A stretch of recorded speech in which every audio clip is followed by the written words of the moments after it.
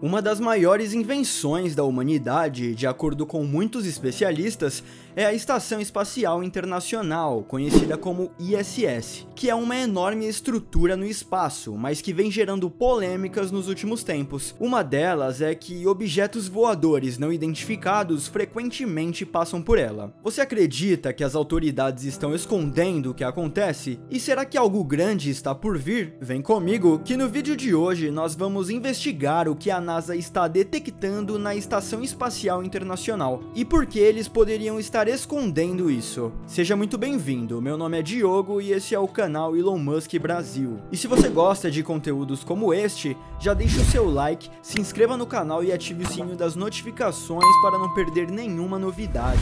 Mas antes de continuarmos, eu vou passar um rápido recado do nosso patrocinador. Para você que gosta de tecnologia e qualidade assim como nós, vou te apresentar agora o Smartwatch X8 Max. É o novo lançamento mais completo e com o melhor custo-benefício do mercado hoje. Ele tem multifunções, navegação melhorada e inúmeras interfaces. Você pode garantir ele hoje mesmo com um super desconto na loja Cloud Importados. E utilizando o cupom ELONBRASIL10, você ganha 10% de desconto. E o melhor de tudo é a garantia incondicional de 14 dias. Caso você não goste do smartwatch por algum motivo, eles devolvem 100% do seu dinheiro sem questionar. Então o maior risco que você corre é de perder essa oportunidade. Então corre lá e aproveita. A oferta é válida enquanto duram os estoques.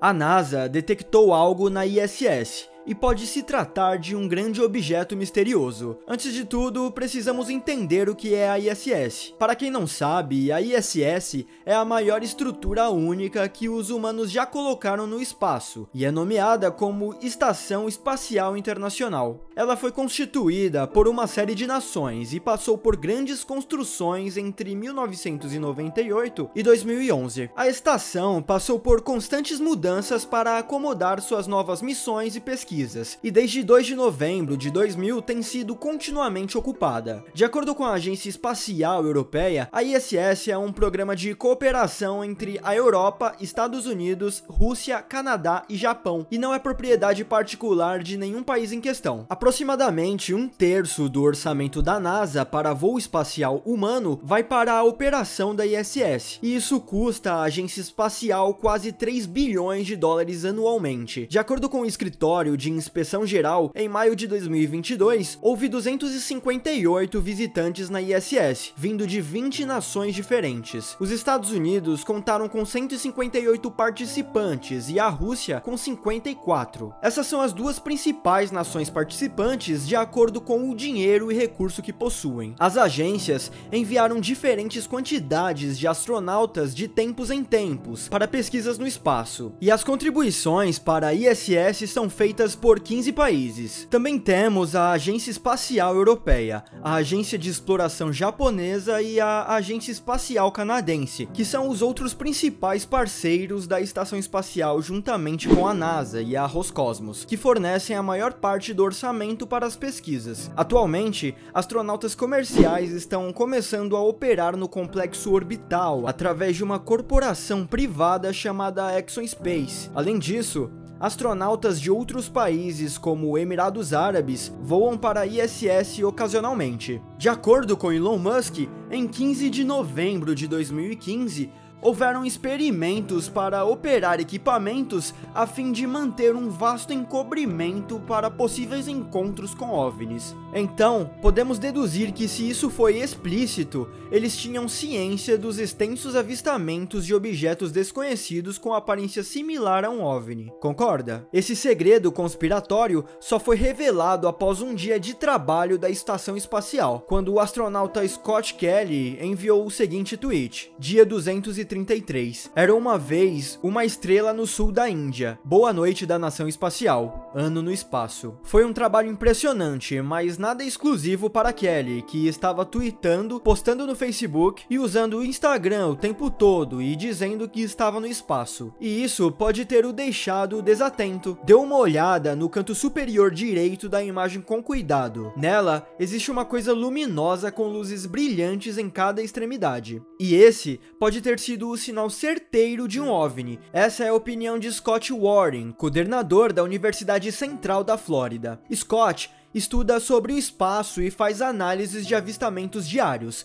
E segundo Scott, ele não só reconhece uma espaçonave alienígena quando vê uma, mas também tem a capacidade de determinar seu design e tamanho. Depois de confirmar que é um OVNI, ele acrescentou que o objeto tinha cerca de 150 a 200 metros de largura e cerca de 25 metros de comprimento, além de um corpo metálico e tinha o formato de um charuto. É justificável que seja uma possibilidade plausível, embora um pouco superficial, porém, se levantarmos para uma teoria mais mundana, podemos dizer que na verdade a imagem pode ser o reflexo do espaço. O que você acha que pode ser? Já vai deixando aqui nos comentários. A janela da estação espacial pode dar a possibilidade de capturar alguma luz que pode ser deduzida com objetos em fotos tiradas. A ISS é maior que um campo de futebol e tem asas solares experimentais, além de plataformas e casulos de habitação que ficam penduradas fora dela, e também em todas as direções. Podemos notar que o tweet que Kelly fez três dias antes mostra que na verdade não é é tão simples assim capturar uma foto nítida sem alguma peça da estação atrapalhando, sendo impossível apontar com precisão qual parte da estação espacial ele fotografou quando estava tudo escondido nas sombras. Mas um artigo inteligente da Forbes fez um argumento convincente de que foi o sistema de visualização da Terra em alta definição, que é montado na parte externa do módulo Columbus da Agência Espacial Europeia, que mantém uma temperatura controlada, possuem câmeras HD dentro e são revestidas com material reflexivo. Porém, encontros como os de Kelly não são prováveis para deixar uma marca tão proeminente na história de objetos voadores não identificados. Mas ainda assim, esses objetos voadores supostamente realizam várias viagens à estação espacial, e uma das mais recentes viagens foi essa que você está vendo agora. Especialistas afirmaram ter visto provas de OVNIs circulando o planeta, e isso foi gravado por câmeras a bordo da ISS. Um objeto muito grande em formato oval e com aparência um tanto quanto exótica. Além disso, 10 objetos misteriosos já foram flagrados por câmeras da ISS, viajando juntos pela estação espacial, e em um vídeo de 15 segundos feito pelo youtuber youtuber MRMBB333 mostra uma captura de tela da ISS em 3 de julho de 2021, onde literalmente há 10 objetos desconhecidos viajando acima do planeta Terra. Claro que isso pode ser apenas uma foto da Terra com alguns pontos e círculos adicionados para criar material, mas caso seja real, deveríamos nos preparar para algo surpreendente? Um outro fato interessante é que um estudante diz ter visto um OVNI brilhante pairando sobre uma praia no Reino Unido por 10 segundos, antes de se afastar e desaparecer rapidamente para o céu. O estudante Matthew Evans, de 36 anos de idade, tirou essas fotos. O objeto não identificado apresentava quatro luzes brilhantes, em um padrão triangular. Matthew afirmou que viu o OVNI enquanto olhava pela janela do último andar de seu apartamento, e ele conseguiu tirar uma foto rápida, mas em seguida o objeto misterioso voou para longe rapidamente rapidamente e desapareceu imediatamente. Ele complementa que a luz era bem forte e não fazia ideia do que poderia ser, mas supõe que seja um objeto voador de outro planeta. Também houve outro avistamento próximo à ISS, que apareceu em uma transmissão ao vivo da NASA, que aparentava ter o formato de um disco. Porém, ao aparecer, a transmissão de vídeo foi encerrada imediatamente pela NASA. O avistamento desses objetos no fluxo de transmissão é o suficiente suficiente para inspirar pessoas que acreditam que não estamos sozinhos, onde elas acessam a internet e compartilham suas teorias sobre espaçonaves, vida extraterrestres e outros objetos fantásticos. Agora, imagine o caos que começou quando a transmissão ao vivo foi cortada. Sim,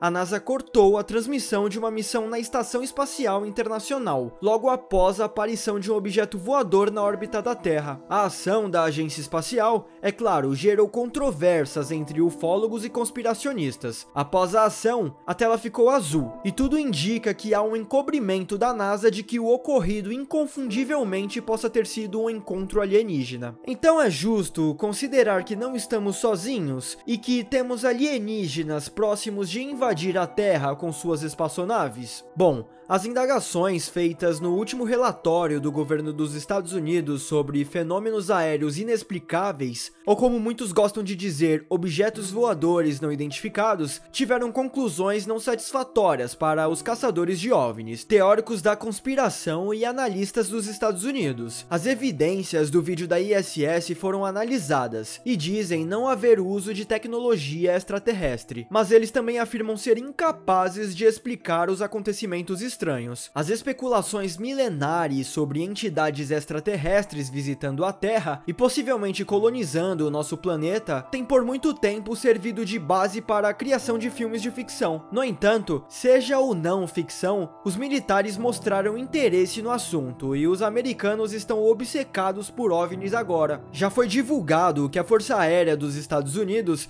disse ter supostamente encontrado uma nave alienígena junto com seus ocupantes em Roswell, no Novo México. Entusiastas das Forças Armadas dos Estados Unidos investigaram e avistaram a área para ver se estavam relacionadas a uma invasão alienígena, mas não houve nada conclusivo. Em 1949, foi desenvolvido o projeto Blue Book, que foi um programa que consistia em investigar avistamentos de OVNIs para as próximas duas décadas. Eles tiveram 12.618 avistamentos incomuns relatados ao projeto, sendo que 700 ainda estavam listados como não identificados. E mesmo sem identificação, o projeto foi descontinuado em 1969, de acordo com a National Archives. Então ainda existem arquivos guardados de objetos não identificados de 53 anos atrás. E agora com toda a nossa tecnologia e cortes em transmissão ao vivo, é nítido que as agências espaciais podem estar escondendo algo, concorda? Mas eu quero saber,